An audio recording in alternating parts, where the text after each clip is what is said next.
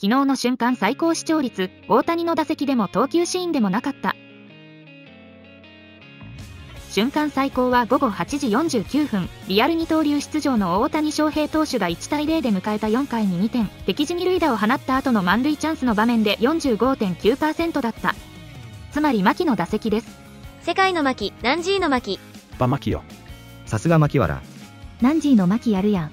ナンジーの牧舐めてんの、当然やろ。横浜にもすごい選手がいるんだ。牧本体でテレビ消されてるやんけ。これは自衛パンの牧。牧秀吾 J が本当になってしまったという事実、嘘から出た誠とはこのことだね。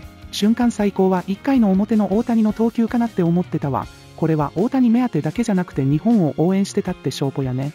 大谷目当ての人は大谷の打席が終わって帰る人もいるだろうのになんでって思ったけどもしかしてまだ大谷が塁上にいるからチャンネル変えられてなかったのか打席に牧がいたからに決まっとるやろはつまり大谷ガッツポの瞬間なんだが。